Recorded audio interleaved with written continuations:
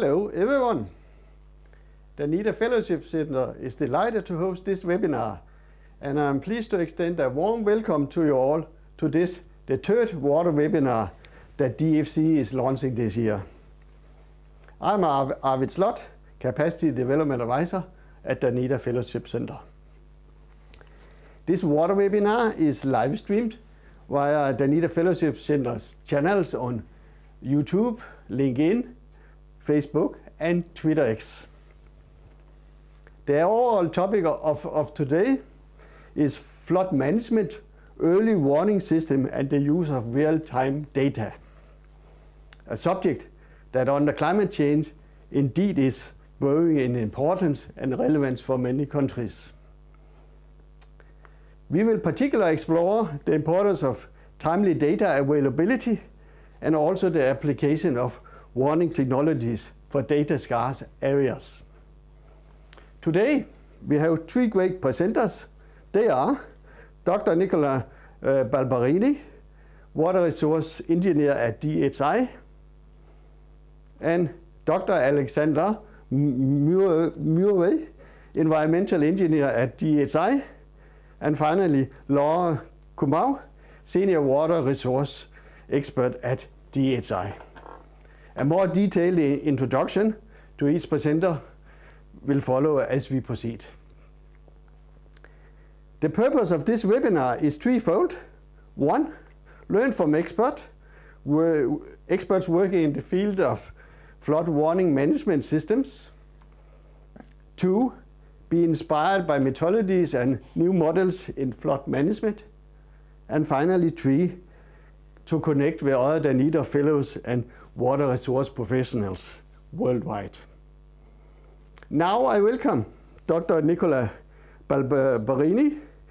Nicola will be our great facilitator today, and he will also be our first speaker. Wish you all a wonderful session. So over to you, Nicola. Welcome. Thank you very much, Arvid, for the introduction. As you already mentioned, my name is Nicola Balbarini. I'm a water resources expert at DHI, and I will be uh, your host today for today's webinar. Uh, before we get starting and kick off the program, just a little bit of a, uh, some clarifications. Whatever the platform you're signing up from, you're very much welcome to post your comments, reflection, questions. We will have, as Arvi already mentioned, we'll start with three presentations, but at the end we will have a good amount of time to address any of your comments or remark or questions and address those to our presenters today, our experts. So please post your questions and we will make sure they are addressed.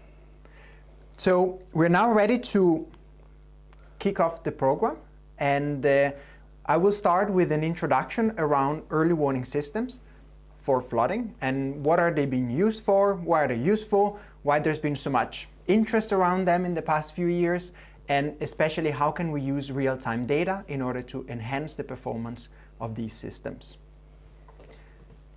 The, um, just a little bit of a, a, a few, uh, a bit of introduction around why operational forecasting system has become so um, uh, hyped or, or, of interest in the last few years. Um, there has been an increased risk uh, around the issues related to flooding. This is linked to several factors. One of them, and I'm sure many of you have already heard about it before, is climate change. This is making, this is um, enhancing, worsening the, some of the causes, some of the risks that are related to flooding. Urbanization is also a key driver. And the reason here is that areas that were prone, to flooding in the past few years were maybe not as urbanized as they are right now. And this, of course, increased the risk of flooding, increased the risk of damages to the houses and the people that are living in this area. Of course, infrastructure, human lives is, is a big focus and, and protecting these, ensuring protection of those is important. And finally, uh, there is an increased demand around control and mitigation of floods. And in all these aspects, flood early warning system, flood forecasting can play a, an important role. So when we're talking about flood early warning system, what, what are they actually, what, what are we talking about? What, what is this technology? there are several aspects that goes into this uh, technology. First of all, we have of course data, so information around how the situation is right now, how it's been in the past, and how it's expected to change in the in the next coming days, months. And here, of course, meteorological forecast, which we're probably all familiar with, plays an important role. Then the second step in flood early warning system is, of course, to once we have information around what is happening, is also to understand how things might change. And here, uh, basin river modeling is the underlying technology uh, in order to understand, predict what is going on in the system. And all these informations, together with the prediction, can then be compiled to know what is going to happen, set up some actions in order to prevent some of the damages, uh, mitigate them, and uh, of course also issue warnings in case the population, in case uh, stakeholders needs to be informed in order to set into place alleviation measures. What are some of the key data that are needed in order for, from flood early warning system? As Arvid mentioned before, one of the key topic of today is also to understand how real-time data uh, play actually an important role in making this system more reliable and useful. And there is a broad set of data that can actually be used in these kind of uh, um, information systems. Knowing what happens in the short term, so how things are going to change in the next few hours through, for example, weather uh, radar. That's one of the key one of the key technology. But we can also, for example, incorporate um, short range and medium range uh, forecast and predictions, weather predictions. Uh, and finally, also on the longer term, the seasonal long-term forecast can also play an important role. When I talk about seasonal uh, long-term forecast, um, this is of course mainly relevant in the in the uh, in areas prone to not so much flooding but more drought and food security. These are some of the topics that use this kind of information. No worries if you're been wondering exactly what are these data about this forecast, the presentation after mine will, will actually go in detail and show some of the example from the site. So you will have a good time to kind of familiarize with these, uh, with these kind of data sets. And finally, before we, we move on to the next presentation, I just want to highlight some of the benefits uh, of using operational flood forecasting and control systems. So as I mentioned before, there are several um, reasons why they're becoming of, of uh, increased relevance. Um, just to highlight some of the benefits, the uh, improving preparedness, uh, so being ready to act as soon as possible. This is really one of the key advantage of flood forecasting. Um, so being able to implement better mitigation measures and in this way reduce the damage, reduce the cost uh, that are linked to flooding events, which in many cases are unavoidable.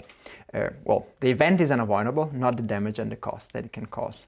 Um, when um, is of course also important when dealing with with uh, river basin management, management of these infrastructures, are is really important to understand what the situation is and how the situation is changing.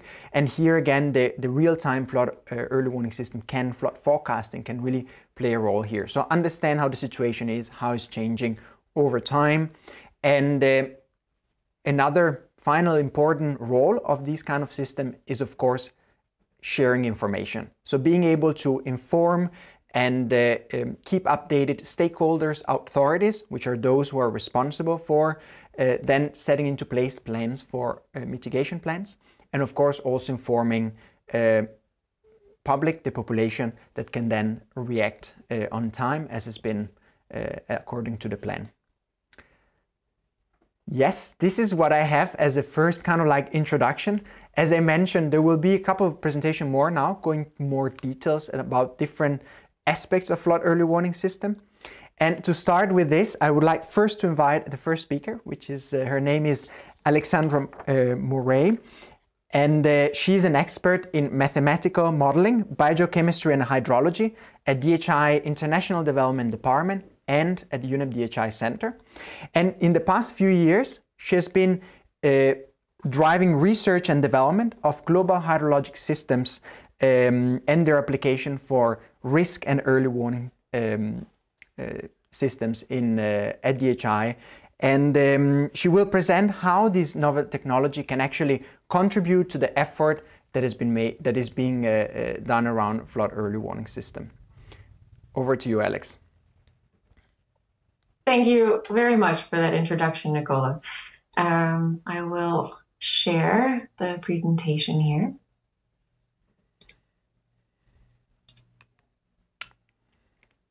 Yes. Um, so as, as Nicola said, I'm Alex Murray, and I'll be presenting today about novel technologies for data scarce areas with a focus on global hydrological models. Um, as Nicola said, this has been an area of research for me in the past couple of years, and I'd like to share what it is that I have learned with you today. So a bit of an outline for my talk. First, I'll give a brief overview of what are global hydrological models, or GHMs, what can we use them for, and then I'll go into more specific details about a particular global hydrological model that's been developed by DHI. I'll end with a couple of cases where we've used it in data scarce areas and summarize before we hand off to our next speaker. So first of all, what are GHMs and, and what can we use them for? All GHMs have in common three main elements. This is the foundation of a global hydrological model. First is that they take in global data sets. Here we're mostly talking about meteorological data sets, so global weather at a, at a large scale. And then the next two elements are modeling elements, where we're looking at rainfall runoff modeling and then water routing that moves the rainfall runoff results through a network system. So this at its at its core is a global hydrological model. What we use them for is varied. There are many, many different applications. I've put a list of a few of them here. Um, one that has great focus for us is data scarce areas or using them in ungauged catchments. These will be the examples that I'll present later in the talk. We can also use them for water resource assessments, planning of water infrastructure, and when we're looking at a model at a global scale, it's it's quite intuitive that we would also use it for large scale assessments as well. Um, and one such large scale assessment is the State of Global Water Resources Assessment that's been released by the WMO for last year, and the the pilot was made for 2021. So this is a new series that they're working on putting together where they can look at use global hydrological models to look at the state of water resources in the world. Um, to do this, they use a suite of 11 different global hydrological models, of which DHI GHM, the model I'll present on later, is one of them. Um, and, and this shows that there's been a, an increase in global hydrological models in the years. So the first one was from 1989, and over the past three decades, the space has really changed. The first global hydrological models were, were very academic and for research questions. And then with the advent of um, environment Earth observation data sets, so increasing quality and increasing quantity of these data sets, combined with a more focus on holistic decision making, so hydrology as one aspect of making decisions, then GHMs have evolved to become a tool that we can apply uh, and this was what spurred DHI to create a global hydrological model as well. The objectives with this model were that it should be distributed hydrology at a very large scale, and it must be fast, it must be a real time tool and complement tools that we already have. So here is a conceptual overview of DHI's global hydrological model. We can see these three main elements that I mentioned at the beginning here in these boxes. The first is global data sets, where we use topography of, of the land surface and global meteorological data to feed into the model. Then we run rainfall runoff elements um, distributed all over the world, and we route that water in the last modeling element. What we get out of this model is dis discharge in all the river points, and we can also learn about runoff and groundwater recharge at the global scale. This entire system runs hourly as new weather forecasts are released. When we're looking at the spatial distribution of the model, we can, we can start with an overview like this. So it does cover the entire globe from minus 60 degrees to 80 degrees. And we include these various tiles where each box on, on the globe has 10,000 models within it. Um, so that gives us a resolution of about 11 by 11 kilometers, and it yields over one and a half million distributed models over the entire globe. So this is this is quite a large number of models, and each of these models is defined by the nine basic parameters that you can see here. Now, in a typical system, uh, when we're building this up, we would use observations from the catchment to calibrate these nine basic parameters. But with one and a half million models and areas in the world that don't have observations, we, we needed to think a little bit differently and take a different approach. So we decided to base the parameterization of the model on the physical characteristics of each of the catchments. So this is an a priori approach where we estimate what the parameters should be ahead of time. And we used various data sets, like you can see here, like land use in the catchment or depth to bedrock, in order to provide a parameterization for the catchment. And the benefit with this is that we're able to provide um, parameterization for ungauged catchments as well as gauged catchments. To give an example of the resolution and the scale that we're talking about here, each of the pixels in these in these images represents a catchment, a NAM model, and the data point, that the parameter at that at that grid cell. Um, so 11 by 11 kilometers at the global scale is quite quite a fine resolution.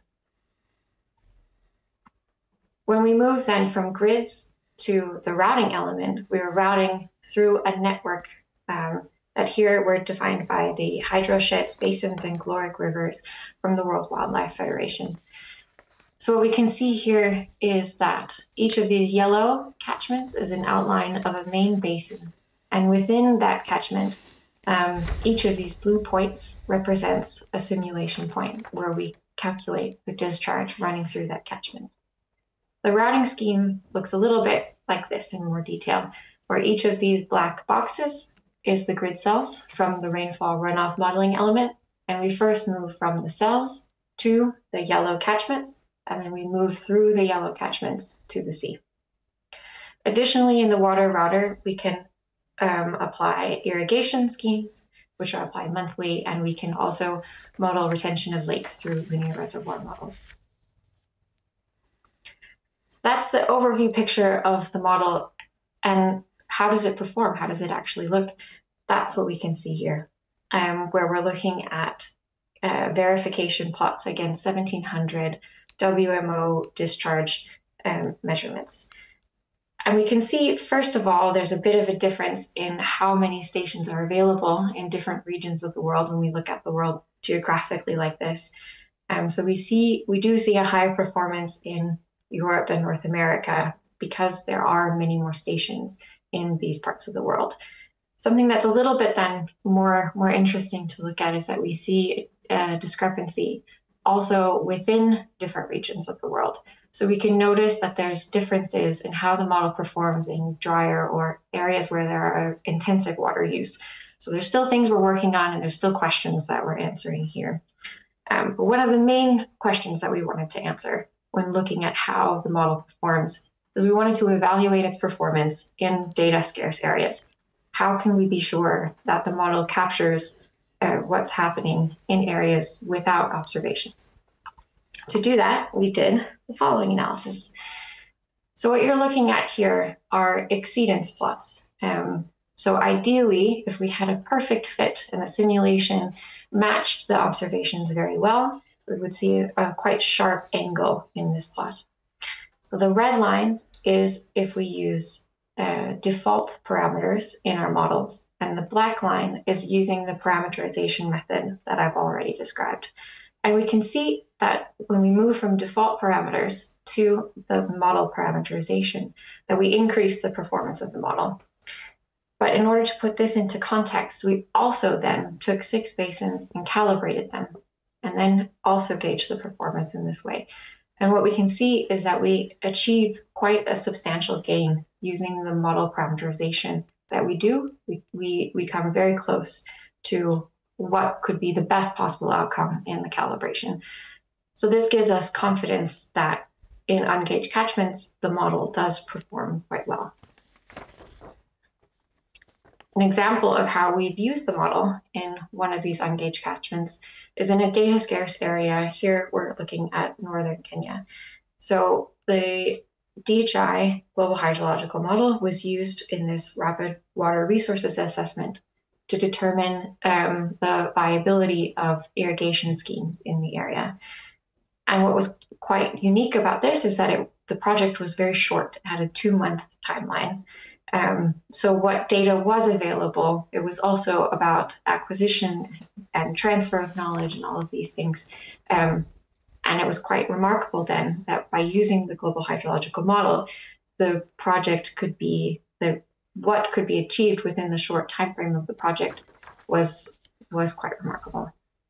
So we were able to assess the resources available in the area and apply climate change factors to see how the various schemes would fare in with various climate scenarios into the future. Another case of data scarcity um, includes transboundary basins, where rather than knowledge not being available, it comes it um, the scarcity comes from limitations in in access to data. So here is a case in the Red River Basin where a operational forecasting system was set up to show what water availability is coming in to the Vietnamese part of the basin from China. Um, this is because the, there's intensive water use in this part of the basin, but about 50% of the available water is coming from upstream. So here, a forecast of the expected inflow is, is very, very valuable to the Vietnamese part of the basin.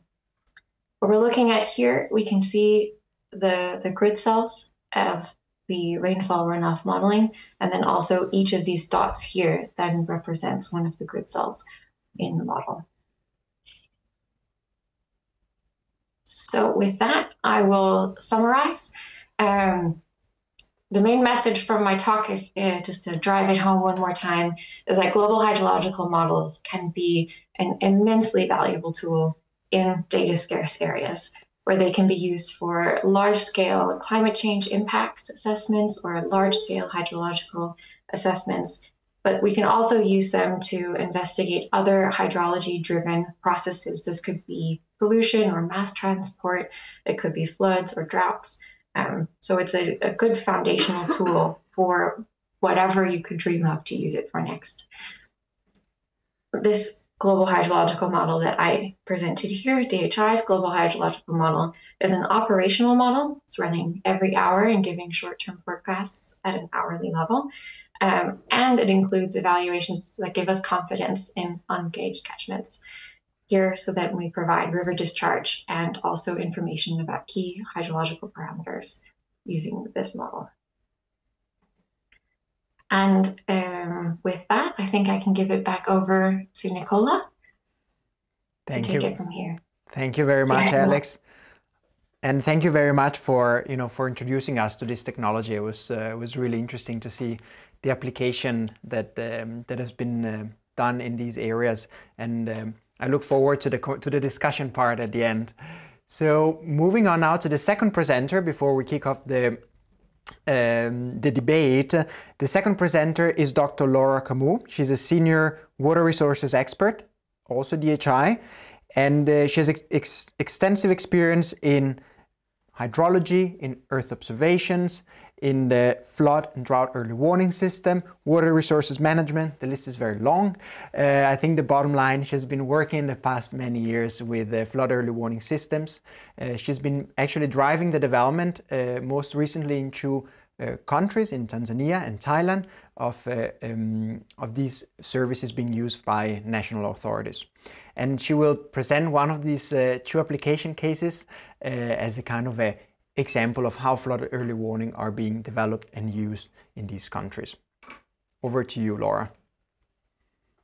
Thank you very much, Nicola. I will share my presentation.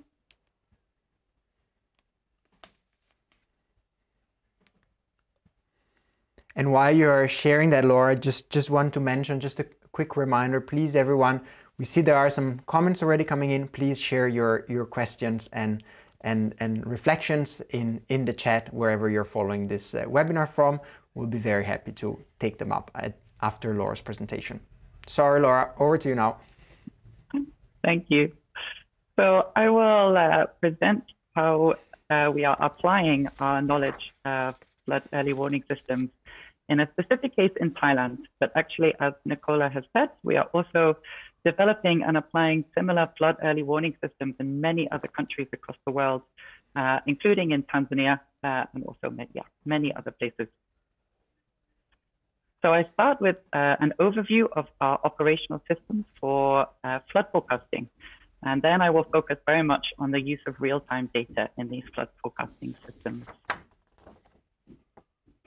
So in Thailand, we have worked very closely with the Hydroinformatics Institute uh, since 2012. And we have developed over many years together with, uh, with DHI, we have developed decision support systems mostly for flood forecasting using uh, DHI's Mike operations technology and Mike modeling software. And also more recently using DHI's uh, Water DSS web portal to be able to analyze and visualize results. And we have developed uh, four different systems in Thailand, focusing on four key basins. And for all of these, we have developed these flood forecasting systems using uh, models, 1D and 2D models, and to uh, send early warnings for when there are floods coming. So flood forecasting systems, uh, these are all-in-one operational systems that we set up. So it starts on the left with getting real-time data. And really important for these systems is real-time rainfall data. And we also, of course, use uh, forecasted rainfall because we want to forecast floods. And we use uh, real-time water level data as well that's measured in these systems. And then we pre-process all of this data into catchment rainfall. We may do some bias correction where we compare, for example, satellite products with uh, measured rainfall station products, and we might bias correct the satellite product to use. And then we input these into hydrological models. Uh, in the case of Thailand, we use uh, Alex has talked about this NAM model.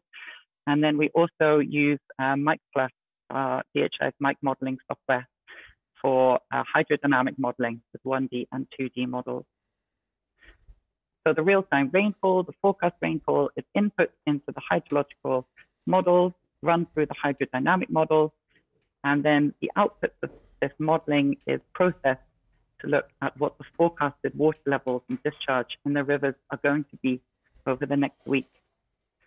So we can then evaluate whether it looks like there will be a flood, and we can generate alerts to tell people uh, to be prepared for floods that may be coming in the next uh, couple of days, hours, or weeks.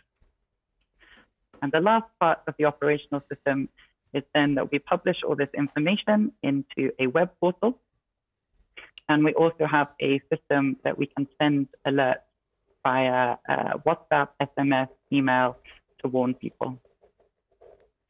So this is an all-in-one operational system that we have established in Thailand and many other places. And it runs, uh, it's configured to run automatically every single day.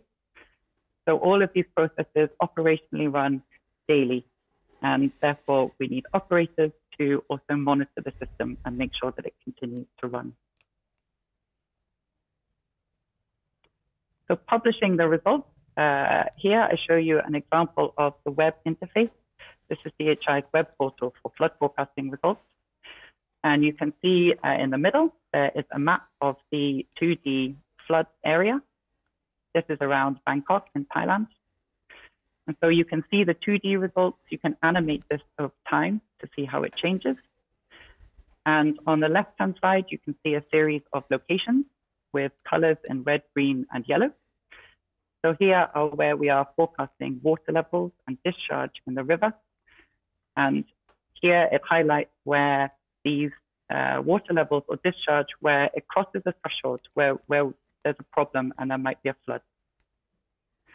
And we can also, on the right, we can look in graphs at 1D results. So at a particular location, we can plot the forecast water level or the discharge and look at where it crosses these, these critical thresholds, which indicate that there is a flood. So there's many things we can do in the web interface in terms of analysis and visualizing results. Uh, and this is one of the key tools in our operational system to make it easy for people to, to understand the outputs of the model. Also, we have uh, a dashboard component of our web interface. And this is where uh, the user can set up some, some key areas which maybe flooding happens often in these areas. So it's really key focused flood areas that can be set up in specific dashboards and can then be shared between different users or uh, the public. And as I said, these are operational systems. So they run automatically every day. Automatically data is downloaded, uh, input to the models, the models are run, the results are shown in the web interface. All of this is configured to run every day and so, of course, someone needs to monitor this to make sure all of these processes are running correctly. And this can be easily done in the, uh, in the web portal. So here there's a status board showing all the different jobs that are running. And uh, we also send out daily emails for operators to say whether every job has run successfully or if there is an error. And then the operator can go to the system and look at what the error is and uh, make changes. So we also try to make it very easy for operators to monitor all these automatic jobs that are running and very easy and quick to spot when there's an error. We talked about thresholds. So thresholds are a key part of the system to say when we send a warning or an alert for a flood. So our models are forecasting what the water level and the discharge is going to be uh, for the next week at specific locations. And then for each of these locations, we define a threshold. So we define a yellow threshold, which is, you know, there's a warning, there could be a problem here, and then a red threshold, which would be a uh, an alert, a danger alert, that here the water level is forecast to be very high. And here uh, we would issue an alert that we uh, forecast a flood. And then finally, the, the key part of these operational systems is actually how can we use these systems to really impact uh, users and people to take actions when there is forecast a flood. So a key part of our system is that it also sends out uh, early warning. So when the water level is forecast to go above these warning thresholds, then the system can automatically send out uh, flood warning messages there's an option to do this via email. As you can see on the right, this is uh, an email that gets generated showing all of the red stations where there is forecast to be a flood, including information about the water level, the timing of the flood. Uh, this is all included in the alerts. We can also send out early warnings via SMS. I know not everyone has access to email and smartphones, so we can send out warnings by SMS or text message and also by WhatsApp, which is also commonly used in many, in many countries. And we also have, as part of this system, uh, we can send out all these messages automatically when there is a threshold cross. But equally, we know that some users want to be able to manage uh, these alerts. So there is an option that a moderator uh, can approve the sending of these alerts. So the moderator would get the message that there's forecast to be a flood they can go to the web portal and have a look at the results and the forecast. And uh, if they agree, then they can approve to send the messages. So there's lots of different options about uh, sending out these early warnings. But this is really the key part of, of the system because we send out these warnings and then the right people and the right organizations can then take actions on how to mitigate against damage from a forecasted flood. So that was an overview of our operational systems. And now I will talk uh, in a little more detail about how we use real-time data and how important it is in our flood forecasting systems, focusing on Thailand again, uh, but of course this applies to all of our systems. So using data in these operational systems, on uh, this dashed line down the middle, this would be a time of forecast. So this is when we run the models and we make the forecast for the next week. On the left-hand side, this is where real-time data is extremely important. So for the input to the models, this is where we could use, uh, in Thailand, they have many stations which are measuring rainfall, and these are with a telemetry server. So as soon as there is measured rainfall, the data gets put on a telemetry server, and the system, our system, can then read it immediately. So we get this measured data uh, in real time. And this is actually in the Thailand system, this is what is used uh, to give you the current rainfall that we input to the models. In other areas where there isn't telemetry stations that can provide this real-time data, uh, for example, in our system we've set up in uh, Tanzania, we are currently using some real-time satellite rainfall data using GPM rainfall. So there are also global data products that we can use to give the current uh, real-time rainfall data. Another source that we use actually in Thailand is radar data. This can be very useful. Uh, it's available in real time and it's at higher resolution than satellite data. And it can give a better spatial coverage than using the gauge stations, which are just for one point location. So this real, real-time rainfall data is extremely important to input into our system to give the current situation of what's happening uh, on the ground in terms of rainfall. We also use uh, real-time data from gauging stations with water levels and flows. And I will talk about this a bit more later and how we use this data. And then, of course, up until today, we have all this real-time data, but we also need the forecast rainfall to be able to produce a flood forecast for the next week. So for forecast rainfall in the Thailand system, we use uh, this weather rainfall forecast model, which is something that in Thailand they have taken uh, a global data set and then they have refined it uh, specifically for Thailand. So this is uh, a specifically Thailand data set and it's for the next seven days.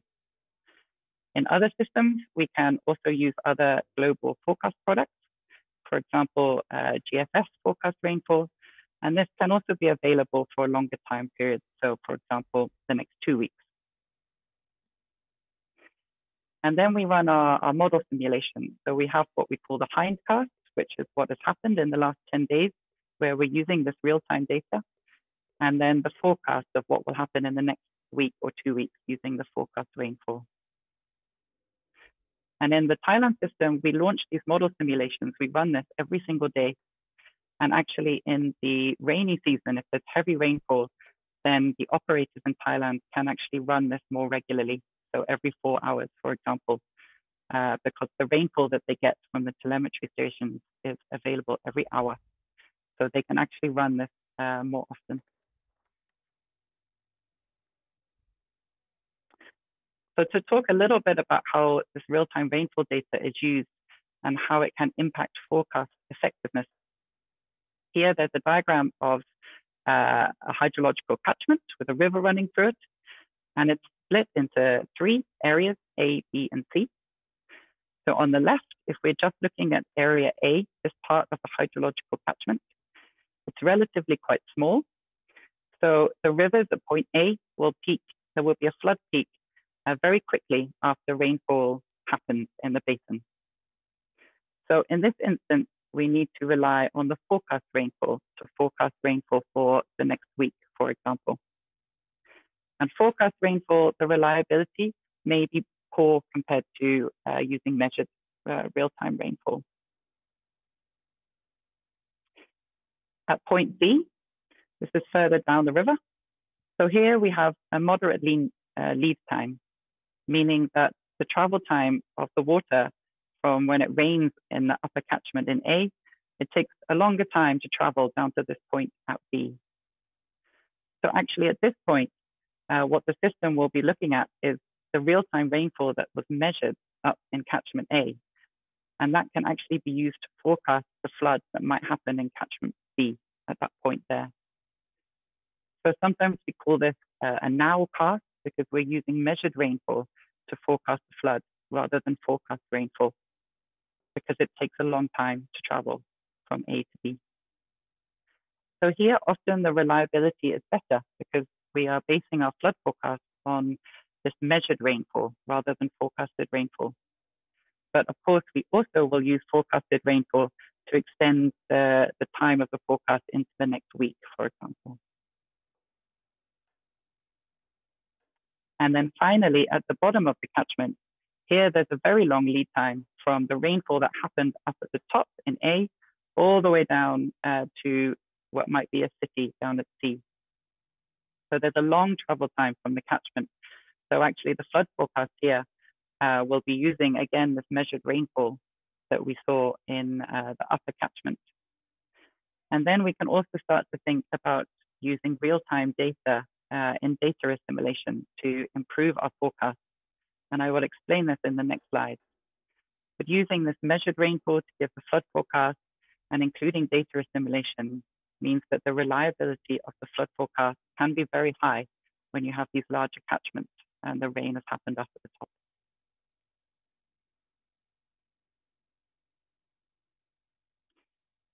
So data assimilation, I mentioned, this is a uh, extremely good use of real-time data that can be used to improve the reliability of the forecast. So here, what we're actually using instead of rainfall now, we're looking at real-time data of water levels in the river. So this we use uh, to actually correct what the model has been doing over the last uh, 10 days. So we can see in the red dot, this would be the water level that we observe in the river. And the blue line is the water level that was simulated in the model over the past uh, week. So we can see there's a difference. And we can see that if uh, we continue with our model simulation and we don't correct it into the forecast period on the right, then our forecast becomes more unreliable because we're starting from a point that's not what's observed.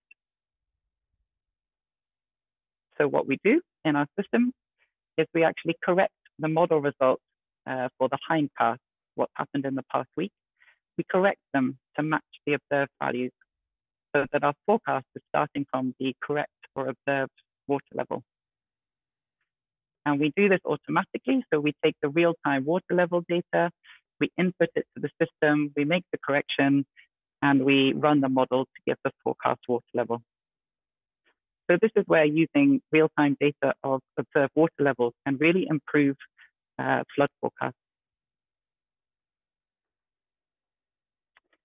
We can also collect real-time data in terms of continuously collecting these observations of water level and our forecasted water level. And we can make comparisons every day. So we automatically take the data, make a comparison, and where there are differences, then we can calculate performance statistics or goodness of fit statistics. And so here, then we can give the user, when we make a flood forecast, we can give an indication of the uncertainty of the forecast based on these performance statistics. And I also just wanted to mention in, uh, in many of our systems, as well as using uh, deterministic forecasts, we can also use probabilistic forecasting. So this is where there's many different forecasts of the rainfall. Each one is assigned a probability. And here then we can have a range of what the forecast water levels might be for the next week. And this kind of range can capture the uncertainty in forecast. So here in the graph, you can see that the, uh, the, the blue range, this is the range of the probabilistic forecasting, and we would expect our forecast to fall within this range. If this range is very wide, then there's a higher uncertainty in our forecast. And if it's narrow, there's a lower uncertainty. So here we can forecast into the future uh, a bit longer, but also where it becomes more uncertain, but also provide this range of uncertainty. So to summarize, uh, our operational systems for flood forecasting, they run regularly So most of our systems run every single day, uh, sometimes every four hours, but they're running regularly and they must run regularly to give uh, reliable flood forecasts. And so in order to run uh, every single day, then they need to use the latest available data. And this needs to be in real time. So this needs to be from that day uh, as close to real time as possible to give a good forecast. So for example, our systems use observed or measured rainfall data from telemetry stations, from radar, from satellite products, and we input these to our hydrological models, and these are really important. Then we also have the forecast rainfall input, and again, we want to take the latest forecast, so we want to take the forecast from today to use in our hydrological models. We can also use uh, real-time measured water level data in data assimilation to correct our, our hindcast and then improve our forecast. And we can also collect these real-time observations, compare them against our forecast, and use this to understand uncertainty. So really, in summary, what I'm saying is real-time data is very important for our operational flood forecasting systems, and it enables us to produce reliable forecasts, which can then allow us to send out warnings so that people can mitigate against the impact of an oncoming flood.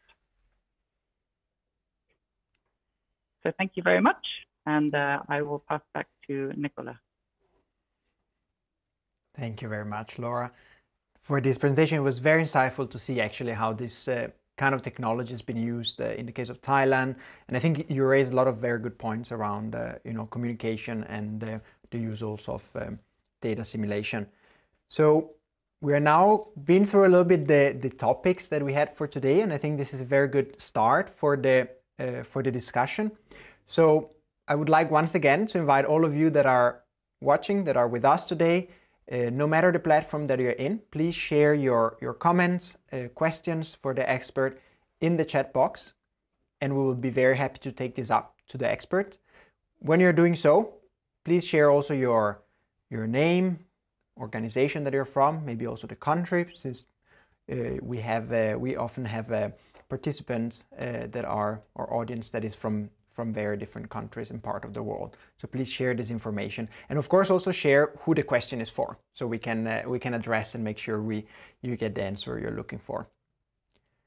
While questions keep coming in, I would like to start, and I'll start the addressing the first question to Alex. Um, and I think one of the I would say one of the key messages that came out from your from your presentation was around the use of global hydrologic model models uh, in data scarce areas. And I think uh, it was really interesting to see this analysis that you have done in these areas on the performance of the model. I must say it was also quite, I would say impressive, uh, at least it looked like that from, uh, from what you describe. And so I would like to hear if you could elaborate a little bit more around the effort that it took to get these results in the area where you did this model analysis. And if you, did you use any on-the-ground data or you just rely on, on global data sets? And how do you, can this be replicated everywhere? I mean, I cheated a little bit, it's three questions in one, but I think you got a little bit what, I, what I'm asking here. Yeah, I, I think I got the gist of, of the question. Thanks, Nicola. Um, so in these in these three basins, uh, or sorry, six basins, where where we evaluated whether the parameterization that we used uh, was a substantial increase over the default as compared to what the calibration looked like. Um, here we did have observed data this was how we could compare what the parameterization looked like compared to the observations. And we had quite a lot of data so that we could go in and look at what's happening within the basin and not just at the the result end of the basin as as the river moves to the sea. So we could see what's happening throughout the basin and see the performance not just for large flows but also for small flows at the the upper parts of the catchment. So we picked these places because they had a lot of data where we could then make the analysis that we wanted to do. Um, it, it, the whole point of having the data scarce area theme is that then we can use it for ungauged catchments where this calibration wouldn't be possible, um, which also means that the performance evaluation in those areas wouldn't be possible. So we did put quite a lot of work into this analysis to be as confident as we could that when we then transition to places without uh, data where we could check the performance that we can have have a reliable information that comes out of the model. Um, if, if, that answers your question, Nicola. Yeah, thank you very much, Alex. It did, and I think it's, it's uh, you know it's quite clear how you then you know use this information in other areas. I think it was a very good clarification. Maybe before before we move on to a question for Laura, I just maybe want to uh, link a little bit up because one of the topic Laura kept on bringing up in her presentation is around data simulations, and she showed uh, different um, type of information that can be used uh, for data simulation depending on, on what is available, what you would like to achieve. And so I would like to hear a little bit, if you could, I think you touched a little bit upon your presentation, but elaborate a little bit more around the data simulation as part of the GHM workflow, if we can call it. So when you use a GHM in this context, how important is data simulation and which type of the products that also Laura was talking about are actually being used in, in your case? Um, that that's a good point. I don't think I mentioned data assimilation in my presentation on the GHM at all because it is something new that we are embarking on.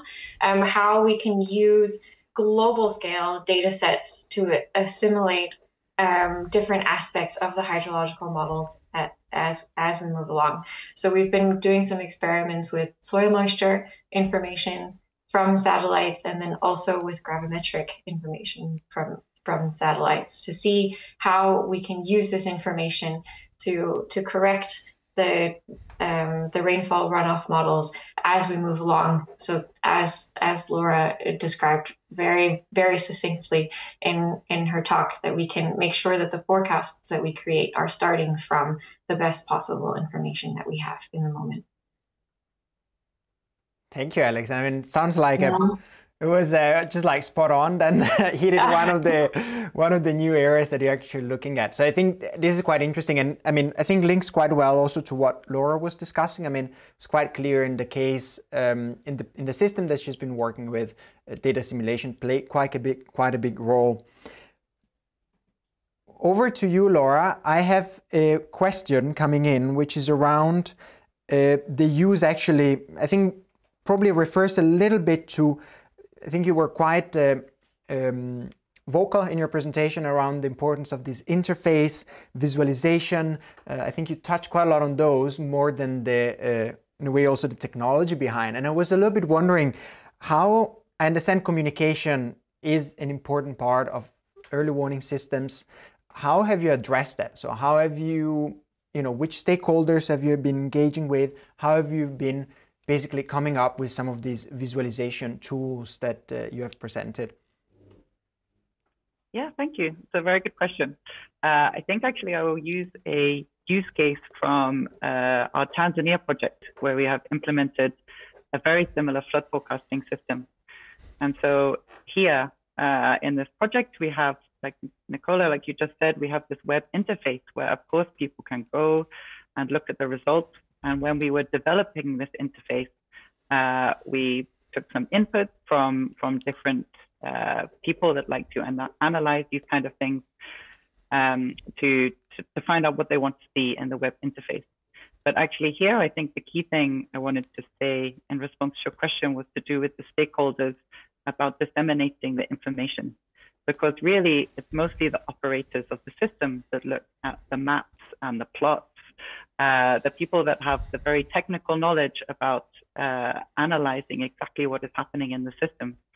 But actually, the, the key end users are the people that receive these flood forecasts. And uh, in our Tanzania system, we have worked very closely with, um, we're working with the Ministry of Water, but there's also a disaster management department that are actually responsible for um, all the mitigation actions and for issuing, for example, evacuation instructions. And I think uh, the, the key part of our system is we we don't actually issue evacuation instructions, right? So that the system is issuing warnings to say that we have models that we think there's going to be a flood.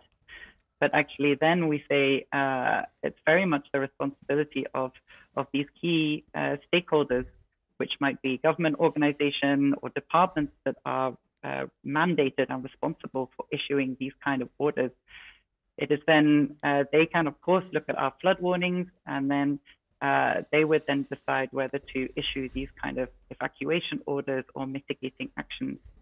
So our system is very much, uh, the warnings are to inform uh, that we think there will be a flood, but then we work very closely with, with many stakeholders depending on the country, uh, depending who's responsible for, for issuing different instructions. we must work very closely with, with these departments so that they can use the, the warnings from our system to make the appropriate uh, actions and instructions to to different people. Um, what I would say. Yeah, thank you very much, Laura. It was it was actually very interesting to to hear a little bit how you're working with these authorities and basically tapping into the governance uh, of these issues uh, at the local level. One question that came in is, uh, I think, more around the communities. So not so much the institutions, but rather the local communities. And I'm, I'm yeah. reading it. So obviously, early warnings are hugely relevant for communities around the world. I think we have. Um, we can all agree on this. Uh, how do you make sure that the relevant communities get the warnings? And I think you have already addressed a little bit around the um, uh, authorities. So how about at the community level? Does messages get sent to everyone living in the area or how is it in Thailand? Everyone in Bangkok gets a message from, from you or? So in uh, it very much depends on the on the country and how uh, the um, how the, the government and the people doing the warnings, the stakeholders, it very much depends. Uh, it's different in every country. So in Thailand, uh, HAI, this, the institute we work with, they produce the flood warnings, and I, this is actually then used to inform government departments who then pass on the messages to the communities. In, uh, in Tanzania, for example, it's the department, um, uh, disaster management department that would issue the instructions. But actually, we've been uh, talking with them. And so when we, when we set up in the system, we can be very specific about who actually gets the messages on their phone, for example. And so we, we actually don't decide this on our own. We work very closely with the right department and we uh, work together to decide who should get these messages and to make sure that they're informed that they will get these messages. So in Tanzania, we actually uh, visited with, with some department representatives. We visited different flood villages where we're forecasting and we spoke to them and we asked them who should get this information and we worked closely with the, the government, local government officials to understand this. And then we collect phone numbers, uh, and this is input into our operational system so that uh, specific people that have been mandated by, by local government departments to get these messages then actually get uh, in the different villages and communities, then they will get either an SMS or a WhatsApp or an email, depending on their preference, depending on what phone they have. Um, but it's very much, we don't just send it to everybody. This would be, uh, I think, alarming and not through the correct channels.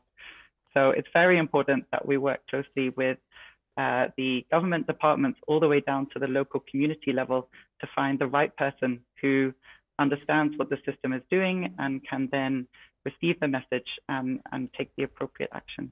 So that's, yeah, that's how we do it, work closely with, uh, with the right stakeholders. Thank you very much, Laura. It was very interesting, actually. Since I have quite a few insights on that, and I, I it's, it's quite interesting. During actually the last um, event uh, here organized by DFC, actually we uh, this engagement and in, involvement communication to the community was actually one of the think questions that came up uh, quite a lot, one of the topic of discussion. So I think it was, uh, you know, uh, it sounds like there has been quite a quite some thoughts put into making sure uh, to use this information in the right way and they reach um, all the relevant people. I would actually maybe bridge a little bit toward Alex with this question, and I'm um, I know your presentation was quite focused on the technology. Uh, you had a little bit of a reference to WMO uh, and their effort in collecting inputs from different global hydrologic models. So I would like to hear, um, have you also encountered this issue of communication uh, of the results? Are these results being used in a similar way like in Thailand for um, early warning system or is at the stage where you know you're rather working on the technology so it's not that interface is not maybe as advanced as the example that Laura brought? Hmm. This this question I think has a couple of different facets and I think the the first one is that the technology of the global hydrological model, as I presented it here, is kind of a foundational um, starting point to working to build a system such as the one that that Laura presented in her talk in in her case. Um, and so what can often happen is you can use a global hydrological model as as the starting point to create a system that on top of it has these communication aspects and stakeholder engagement um, through specific projects. So, for example, this was what was done in the case I presented in the in the Red River Basin as well. Um, the global hydrological model was the start, and then afterwards, these these questions of dissemination have been um, going through specific project based um, applications. So as it is, there is not a, a risk management system um, set up at a global scale. Um, although, come to think about it, we are actually forecasting um, seasonal plastic load. Um, so we're using the global hydrological model to present a risk in at a global level um, in a specific case then um, and this is feeding into to a global analysis in this way. Um, but often, often the dissemination is project based. It's project based, and one, um, I think this sounds very good, and I think links a little bit up to um, one of the comment that I actually want to bring up next, which is around the, um, you know, early warning for all initiative. Um, this is initiative that's been uh, recently launched by the United Nations. Um, to ensure that every person on Earth as a safeguard is safeguarded by early warning system by 2027. And do I hear, Alex, that's is this part of that effort, the, the work you're doing, connection with WMO? Is it is it maybe feeding into it, or is uh, a building block towards something that the the United Nations is putting together, or what what are your thoughts here? Um, we're not uh, directly involved in the initiative as such, um, but I see that there could be really, really fantastic link ups between between these two. Water for all, or this this initiative for all. Um, that's exactly one of the reasons why we wanted to develop this global hydrological model, where we can be sure that data scarce areas are not left behind. Um, so there's quite quite a good link there. Um, which could be explored. The, the WMO report is an initial look at the state of water resources all over the globe, including areas that have not been gauged before. Um, and and so this is a good step in that direction as well. And we're we're really happy to be involved in that effort and to see what comes out of it as as it moves forward and and the analysis becomes even more in depth. Sounds exciting. Sounds also like we should stay tuned on uh, how this is uh, is going to be. It, it, looked a little bit like also when you share the stories around how the technology developed in over the last uh, 20, 30 years. Sounds really like there is you know something building up to some you know really exploding the potential of this uh, of this new uh, technology. There are um, quite a few comments actually coming in. So switching a little bit topic, there are quite a few comments coming in, and I'm just sharing a little bit. I think there are, you know, we're of course super happy to hear uh, that they're positive, and and there's been several that has also thanked around, uh, you know, the topic, how it's been presenting, the the.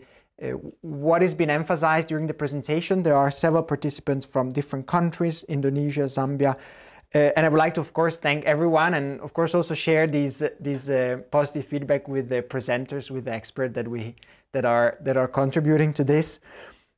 Uh, the next question is actually I would like to address it to start with at least with Laura. Uh, I could see we, we're going to switch also ask you Alex as well afterward. Well, we're going to start with Laura, and I'm going to try to put together a few comments because they are all around um, the topic of um, sorry, I'm just just finding uh, all the different pieces. So they are all around the, the topic of um, uh, how these technologies can be used in different contexts. So uh, you, Laura, presented very well the use in, in, in Thailand uh, of such a, I guess it's almost national level early warning system. You talk a little about Tanzania. You said there were several things on the way. So I would like to hear a little bit if you could elaborate how these um, how can these technologies be rolled out? What is the effort? What is being done already? Uh, how do you see maybe this rollout can be uh, sped up or how can be done in a more efficient way? And one last comment, and I'm sorry, I'm just really trying to bridge here and putting a little bit on the spotlight. On the spotlight. So there's also a bit of a reference to Ethiopia, and I was wondering if is is that an area where you or some of the colleagues are already working with? Um, yep, there was a lot of things. I hope it uh, hope it made sense. Yeah, thank you, Nicola. I think uh, it's a very good question about uh, how can we apply these technologies uh, more widely in many places. Uh, the systems I presented, uh, we apply these um, these systems at DHI. We apply them in many projects all over the world, actually. And I think the the key area for these systems um, is about data, really. So we've talked about data scarce areas. Uh, we've talked about uh, having all this real-time data.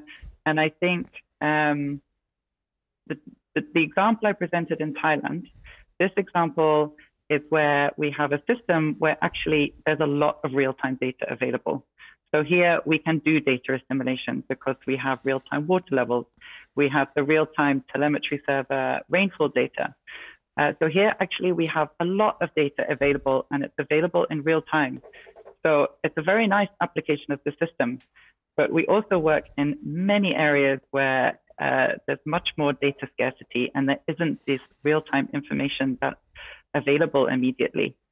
So I think uh, when we, if you like, roll out these systems to, to other countries, to other places, uh, at other different spatial scales. This is all very possible in terms of the tools. So in terms of the models, in terms of the operational system we set up, the web interface, these are all transferable to anywhere in the world, actually. Uh, and, we, and we do do this as part of projects. And I think the key area here then, because all of the technology is transferable, the key area is what we input into the system. And this is, this is the data. So what we've seen uh, when we apply these systems in data scarce areas, we actually uh, can still produce uh, reliable flood forecasts because more recently we've been able to use um, Earth observation products, so these global satellite products of um, measured rainfall or forecasted rainfall, and these are global products, so we can use these anywhere in the world to produce these flood forecasts. We also need data to calibrate our models um, but of course, we can also, when, when there's not much data available, we do the best we can. We can still set up a model and we can still forecast flooding. So uh, I think really the, the, the message here is that this technology is very transferable to anywhere in the world, and we can use it in uh, data scarce areas, in areas where there's lots of data, and the amount of data available impacts the reliability of the results. Uh, but of course, we can still produce these results. And I think when when you're thinking about um, instigating a new project in a new area, uh, it's also worth it's worth thinking about. We would like to set up the system. This would be great to have this technology. At the same time, let's think about what data is available and do we need uh, maybe another project to look at our rainfall stations, to look at our gauging stations to make sure we're getting some data. And this is a bit more automated or uh, good quality data. So I think these two things come, come hand in hand with impacting the reliability of the forecast. Uh, but as I said, we can apply this and produce forecasts uh, anywhere in the world. Um, yeah, but having good data is, uh, is uh, would be very nice to improve the reliability of the forecast. So something to think about.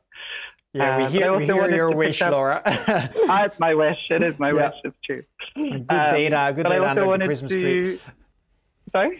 Good data under the Christmas tree. That's your yeah, that's right? your dream. Uh, maybe actually using uh, taking this uh, this remark, Laura, that you just made, and maybe mm, I, I want to. I would like to address a comment to Alex, uh, which is exactly around. Laura was mentioning around relying on weather forecasts in certain areas, and one of the concerns that came in, and this is from um, from the audience, uh, a colleague called Marita. She's uh, um, bringing up the topic of one of the challenges is unpredict- unpredictable weather forecasting, and uh, even governors are caught unaware. And so I'm just going I ask you. I know this is a big topic, but I don't know uh, how, how are you addressing this? Are you, um, you know, is, is this really an area of concern, and, and how are you mitigating this uh, potential risk? Yes, I mean the reliability of a forecast is is the one of the goals or or one of the essential elements of of what you get out of a model. What you put into it dictates what what you get out.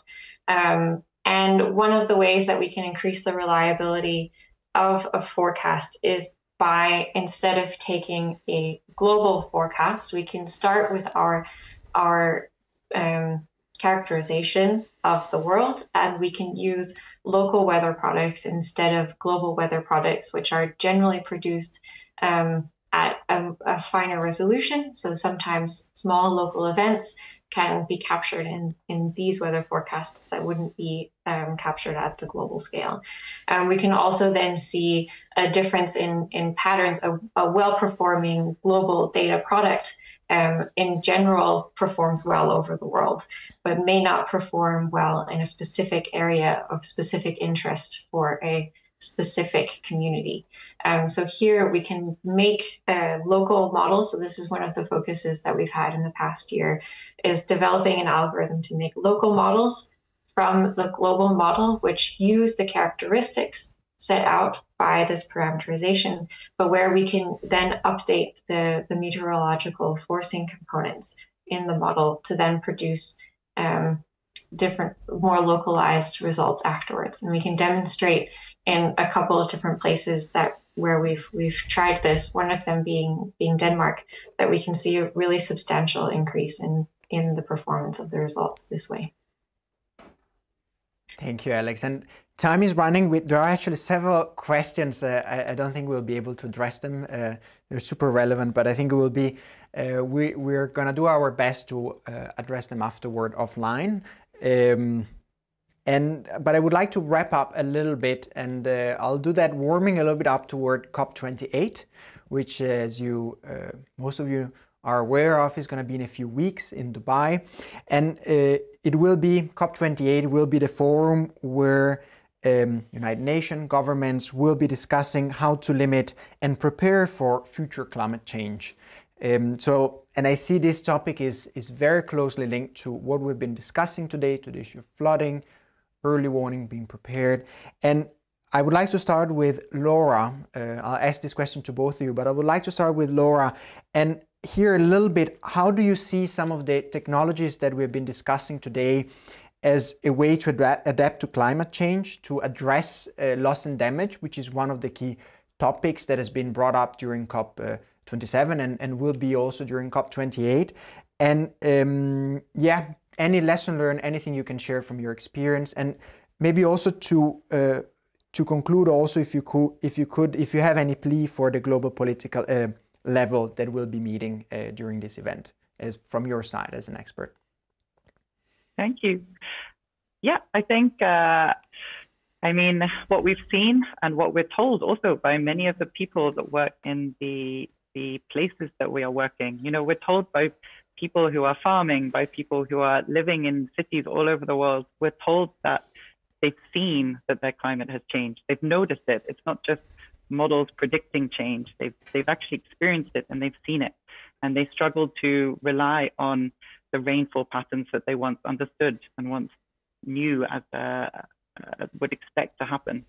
So we've seen that the rainy season in many countries starts earlier or starts later. We've seen that uh, rainfall events uh, can be heavier than has been seen before or more frequent than has been seen before. And so I think uh, talking about flood early warning systems anyway, um, these systems, because they're using measured rainfall and forecast rainfall, then of course they're using the rainfall that we see on the ground to forecast a flood. And uh, in that way, they're, I suppose, accounting for climate change and that we're using these, these measured rainfalls that are different to what we expect and forecasting a flood that might, uh, that we think is going to happen that in the past people wouldn't expect to happen because they don't expect there to be heavy rainfall in this season or this early. So I think uh, these kind of flood forecasting systems can provide a very fast alert to people um, about um, you know a disaster that might be happening, and then people can take the appropriate responses to evacuate, for example, or prepare for a, an unexpected flood that might be uh, heavier than expected uh, or more often than expected from people's previous experiences um, because of climate change. Um, yeah, and you asked about a, a message. um, yeah, I think uh, I think we really need to accept that people across the world are, are really seeing the changes, and that it's not just something we can uh, say we're modeling. is going to change. It's changing now. It's already changed, and people can see it changing. So we have no time to waste, really, in uh, in implementing systems such as this uh, to be able to help people to respond to disasters that are bigger or more frequent than, than they were before. Thanks.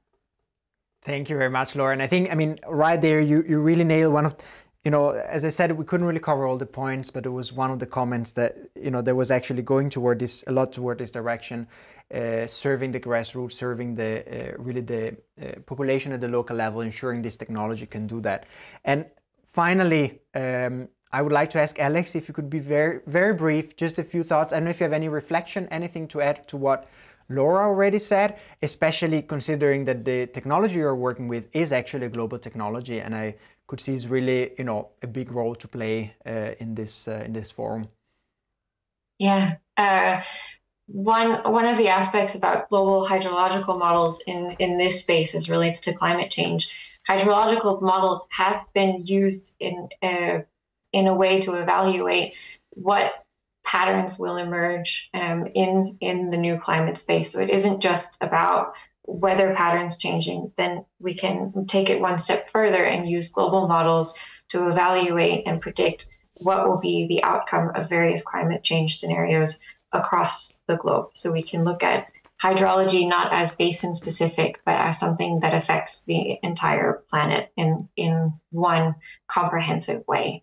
Um, so this is one way in which the technology can be used, um, rather than not at a local level, but at a at at at the global, rather um, comprehensive level. And and this then, if I should also come with a message, my message is that what we do here, looking at modeling and, and systems and operational awareness and real-time data and disaster risk management. This is all mitigation of the symptoms of climate change. And technology is going to help these symptoms, but it's not going to change the, the problem. What we need is, is action in, in this regard and not not a, a belief that technology will save us. We're doing what we can, um, with these sorts of technologies. But the ideal scenario would would be that we don't need them, right? Um, so that would be my message, my message to to the COP. Thank you very much, Alex. I think that was a great way to a great message to end the debate. So what I will do now is thank, of course, everyone. Thanks to the expert and give uh, words back to Arvid for the closing remarks. Over to you, Arvid.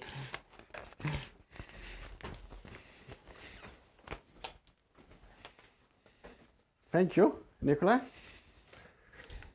First of all, thank you so much to the three speakers and to all of you uh, attending online. Special thanks go to our uh, facilitator, Nicola, indeed. Job well done. Um, today we have learned from um, different flood warning cases. Indeed, highly interesting. We hope that You'll share this knowledge and uh, the lessons learned within your organization.